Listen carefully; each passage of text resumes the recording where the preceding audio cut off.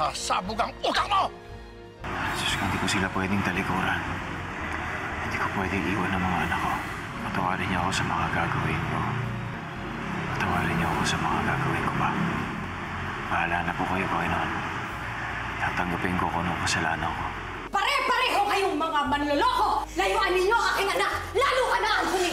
You don't deserve my daughter! Gawin mo ang dapat mong gawin and do it fast. Sampahan mo sila ng kaso at isama mo na rin si June at si Sonia. Unfortunately, wala kaming makitang pwedeng maisampang kaso kina Sonia at June.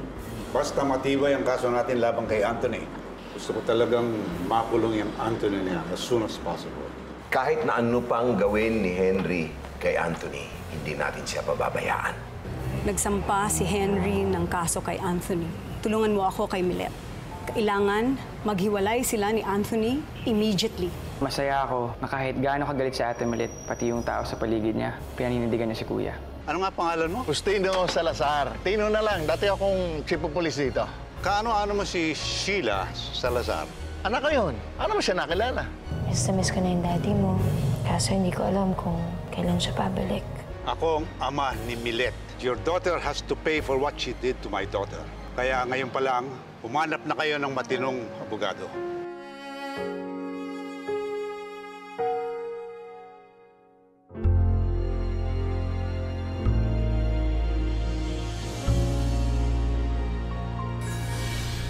So, lagyan mo naman ng baterya, ha? Tapos, ah, yung tinuro ko sa'yo, yung diretso, power up. Tapos, pag yung diretso. Yung, yung battery ka. Ton. Sige po. Ito. Kuya, to Anthony Real. Ikaw yun, di ba?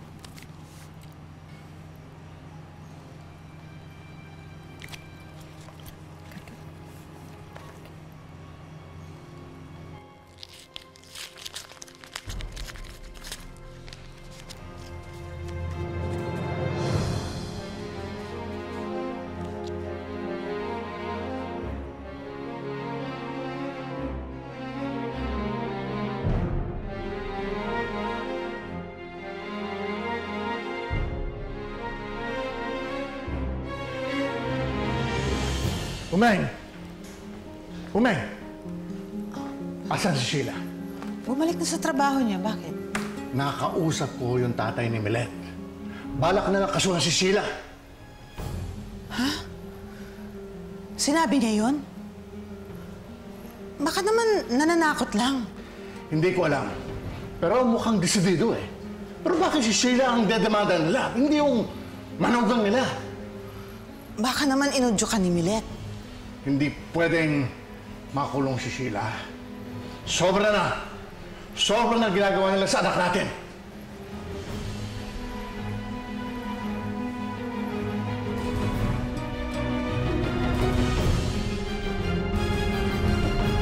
Sige po, salamat po, sir. Sheila! Ay, Lisa, may dala akong merienda para sa'yo. Ay, salamat. Saka, may sulat ka, Sheila. Mukhang importante, kaya dinala ko na rin dito. Ay, sige. Saka naman ah.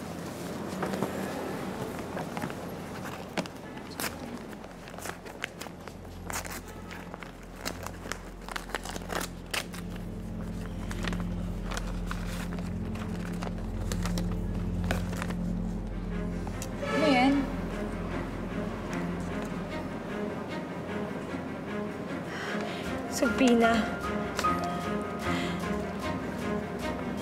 Kinasuhan kami ng bigami ni Anthony.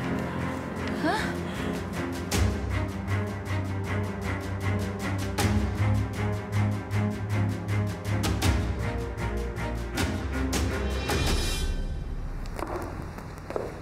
Anthony? Bakit? Ano problema? Alam mo ba ito, Milet? Ba't? Ano ba to?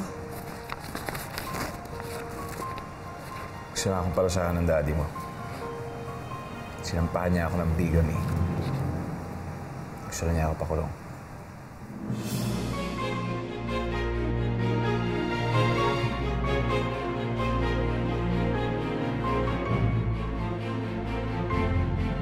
Pag nananahimik na ako dito, ba't kailangan pa nila akong parusahan? Sheila, ang tatay ni Milet ang may gusto nito. Siyang nagsampa ng kaso. Paano kung si Milet yung nagsusulsol sa tatay niya? Uudyukin kaya ni Milet ang tatay niya kahit na alam niyang pwede makulong ang asawa niya. Sa tingin mo, gagawin yun ni Milet kay Anthony? Paano na to, Ma'am?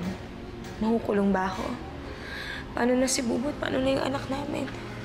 Nak, huwag kang mag-alala. Andito kami ni Papang mo para sa'yo. Tutulungan ka namin at sisiguraduhin namin na mapapawalang sala ka sa kasong ito.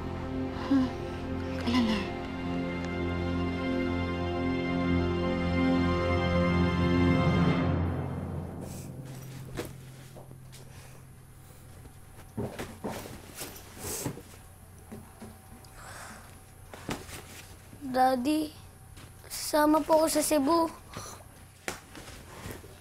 Sinabi ko naman sa'yo, hindi pa siya lang pupuntahan namin ng mami mo sa Cebu, di ba?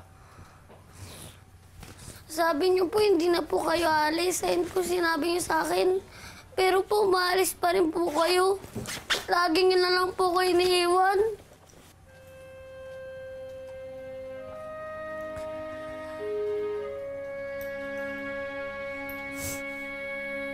Sige, pumunta ka na kay Lenlen, maging pakal ka na.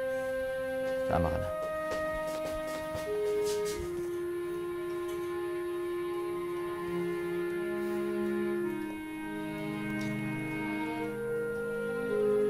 Sige na. Go. Sige po.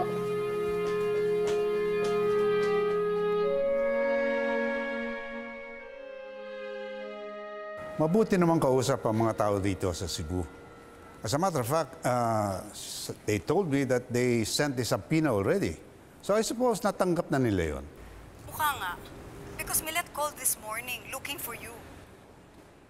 Ah, sinabi mo ba sa kanya na nandito ako sa Cebu? Ah, o sige.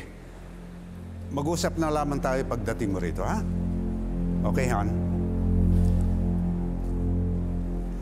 Daddy, Ano ginagawa mo rito? At ba't kasama mo ng lalaking yan? Talaga bang nananadya kayo? Hindi, Dad. Hindi po. Dad, eh kasi baka naman pwede natin pag-usapan na lang to, Dad. Huwag na lang kayong magdemanda. Para ano? Para lokohin ka na naman ng lalaking yan? Dad, nakikiusap po ako sa inyo. Sige na naman. Tulungan niyo kami maayos yung buhay namin. Sir, please. Pakikiusap po kami. Apektado na po ang pamilya namin eh. You shut up. Daddy. Ano ba ang pinakain mo dito sa anak ko? At hindi kanya mabitawan? Daddy, please lang. Pagbigyan niyo naman ako. Sige na. Huwag na kayong magdemanda. Sige. Kung talagang gusto mong iurong ko ang kaso, isa lamang ang kondisyon ko. Iwanan mo ang lalaking yan. Hindi mo magawa, no? I'm really disappointed with you, Milet. Sige. Kung talagang ganyan ang gusto mo, magkita na lamang tayo sa korte. Daddy, huwag kang magagawa. Dad, kaya nga nakikiusap ako sa inyo, Milet, Milet. Daddy.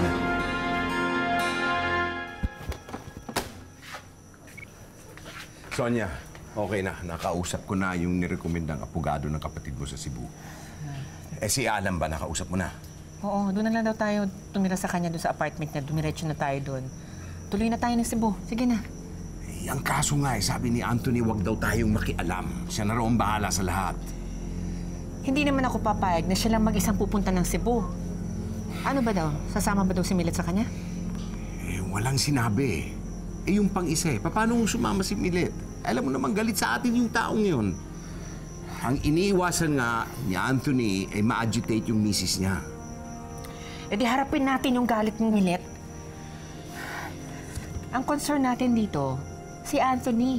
Yun ang dapat natin intindihin kung paano hindi siya makukulong. Oh, sige na, sige na. Ibubuko na yung flight natin. Hindi na.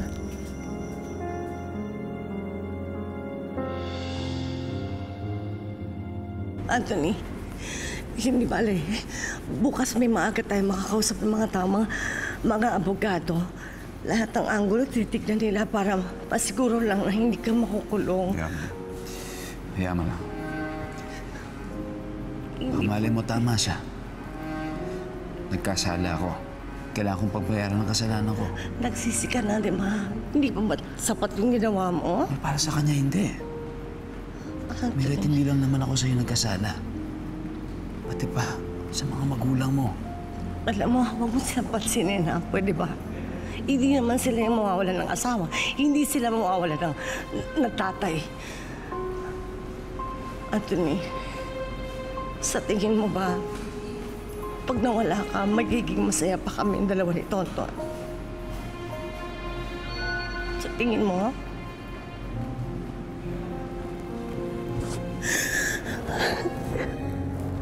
Paano kami dalawa ni Tonton? Diyos ko.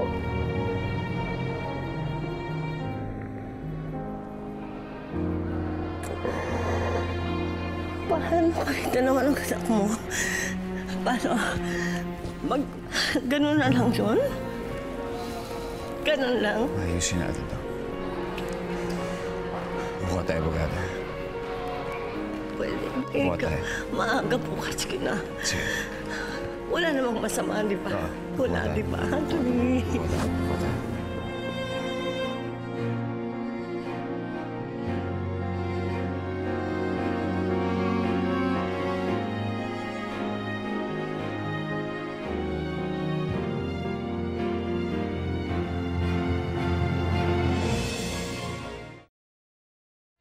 Well, sa isang bigamy case, meron tayong dalawang pinakamabisang depensa.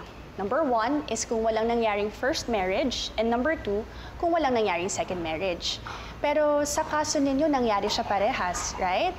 At hindi naman kayo aware na may unang asawa na si Mr. Real, right? Um, paano kung nasabi ni Anthony na may asawa na siya noon, attorney, pero hindi kami naniwala? Well, I would advise against admitting that in court, Mrs. Salazar.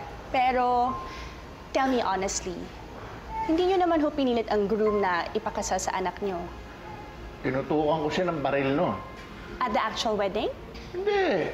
Bago pa makasal. Ainit ang ulo ko nun. Uh, that's okay. What's important is, we can establish na hindi naka-coerce ang groom sa wedding. And kailangan na lang natin ngayon makakuha ng ebidensya na kung ano talaga ang nangyari sa wedding ninyo. Meron naman kayo sigurong wedding video, right? Meron kami noon. Ah, pero, ah, teka, attorney. Ang ibig bang sabihin, si engineer lang ang pwedeng kasuhan? Pwede nang hindi madamay si Sheila? Yes, Mr. Salazar, wag po kayo mag-alala. Matibay po ang ating depensa laban sa isinampang kaso sa anak ninyo. Ah, pero papang hindi naman mangyayaring lahat ng to kung hindi natin siya pinilit. Kawawa naman yung tao. Sheila, ano ka ba? Hindi matatakasan ni Anthony ang kaso na sinampa sa kanya ng tatay ni Milet. Pero ikaw meron ka pang pag-asa eh. Eh gusto mo bang pareho kayong mawala sa buhay ng anak ninyo? Paano na si Bubot?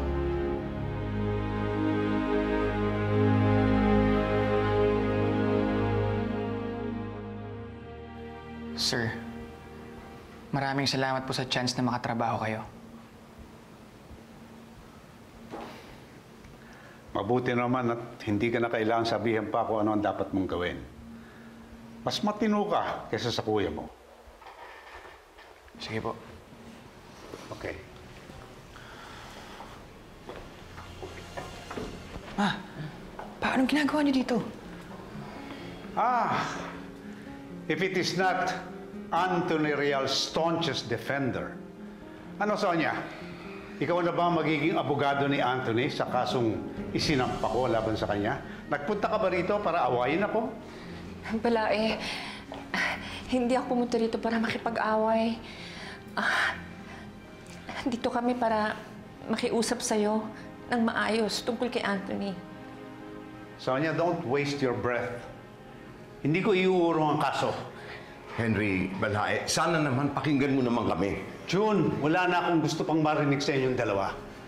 Vincent, please escort these two people out of the construction Henry, site. please, please, nakikiusap ako sa'yo. Magulang sa magulang. Huwag mong parusahan si Anthony. Huwag mong parusahan ang anak namin. Oo, totoo. Nagkamali siya, nagkasala siya.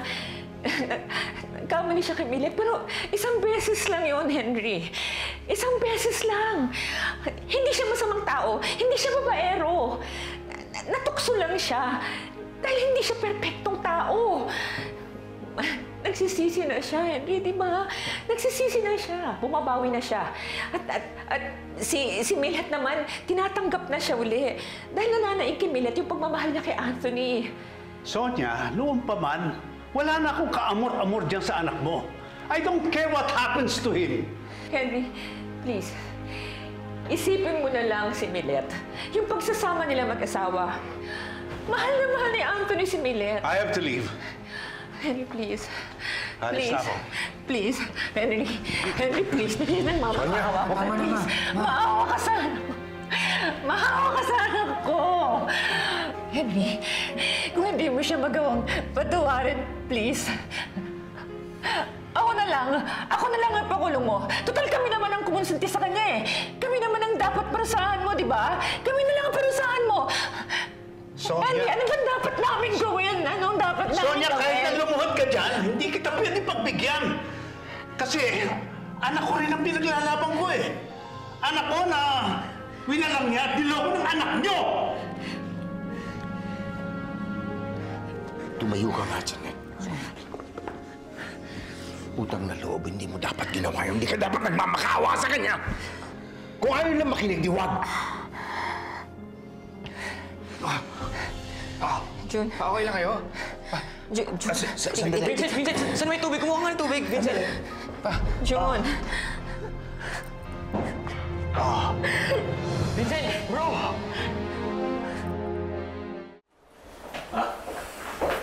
Nangyari kay Papa? Ton, hayaan na muna natin ang mami at daddy mo na kausapin si Lola. Halika. Ma. Nanikip yung dibdib niya. Sige.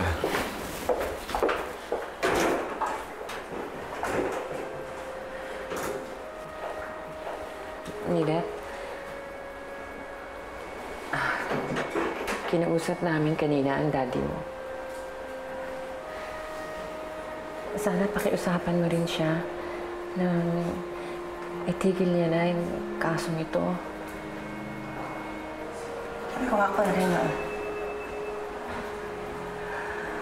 Kasi sana, kung sinabi niyo sana sa akin ng mas maaga, sana may nagawa kayo para itigil ang kasal nilang dalawa ni ang kabit niya. Sana kasi nagsalita kayo agad sa akin. Pero hindi, di ba? Hindi. Wala kayong nagawa. Kaya pare-pareho tayo ngayon na ganito itsura natin. Ganito ang mangyayari.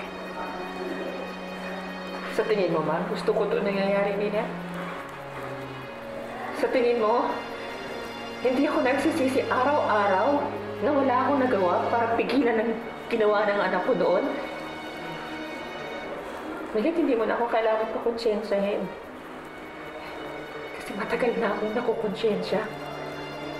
Kaya ano ba magagawa ng konsensya ninyo sa sitwasyon namin dalawa yan ni Anthony? Meron pa ba? Ano bang kailangan kong gawin? Ano bang kailangan namin gawin mag-asawa para mapatawad mo kami? Amina, gusto mo lumuhod ako sa'yo? Ito, ito, lumuhod ako sa'yo. Ito ba? Ito ba ang kailangan kong gawin para mapatawad mo na kami? Gus- Gusto mo, halikan ko yung sahig na inaapakan mo. Yun, yun. Mapapatawad mo na kami? Kung ginawa ko yun, Ma, tumayo kayo dyan.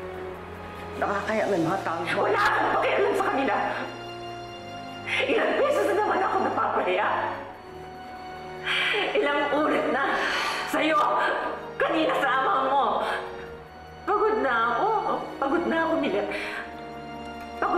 Pagod na ako ng paghingi ng unawa sa inyo, ng kapatawaran nyo. Ano ba kayo? Diyos ba kayo? Hindi ko naman hinihingi na magbalik ang lahat sa dati. Hindi, Milet. Ang hinihingi ko lang, pagkakataon para maitama namin yung mali namin sa inyo.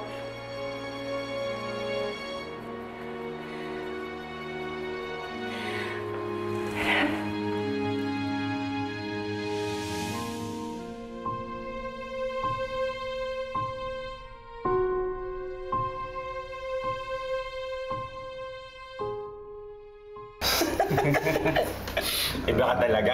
Cheers!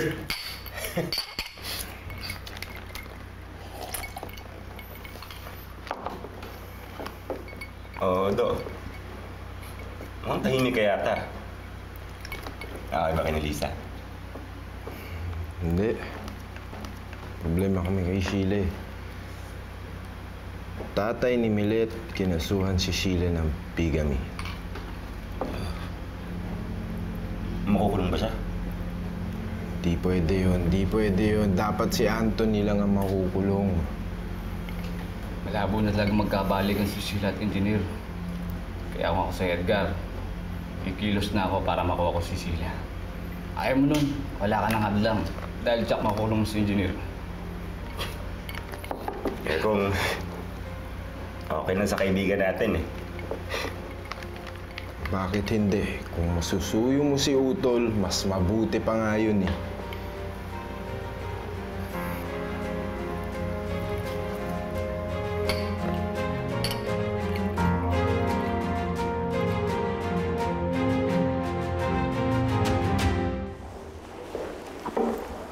Oh. Ano, kamusta na? Yung papa mo? Okay naman, na-stable na siya. So, pwede na siya ma-discharge. Ayos ko lang yung Will. Si, si mama ba, alam mo kung nasaan? Gusto ko sana magpaalam sa kanya. Eh, alam mo, si Tonton kanina pa nagugutom. Okay. Kaya ano, di ba, iniintay na tayo nung kausap. Ayaw. Sige. Di ba? Tara na. Halika na. Parang gusto ko kainin. Hmm.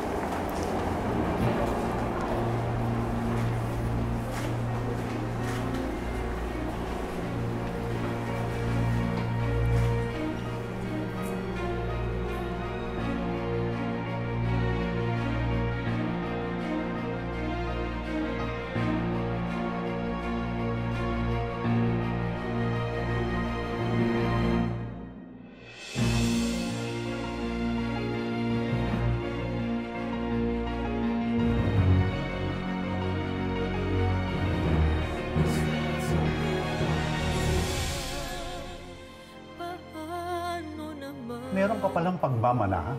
Walang pinagkaiba ang mga magulang mo sa'yo. Alan, murahin niyo ng kapatid ko, pero wag daw ng mga magulang ko! Ah, tama na. Lumabas nga kayo dito! Buksan niyo itong pinto niya! Nakakahiya na yung ginagawa mo! Ma, anong ginagawa mo dito?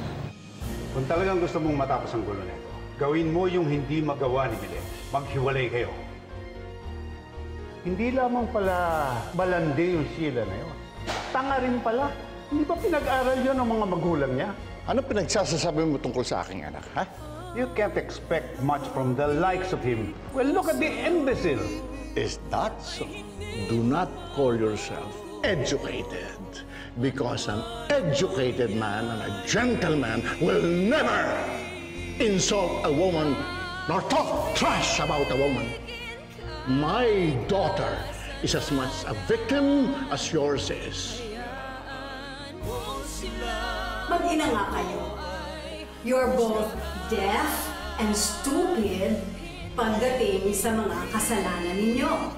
Hindi ko alam kung paano ako pagpapalaki sa inyo sa Maynila. Pero dito sa Cebu, tinuruan kami ng manners. Kaya hindi kami pwede magsalita hanggat hindi namin ang alam ang buong.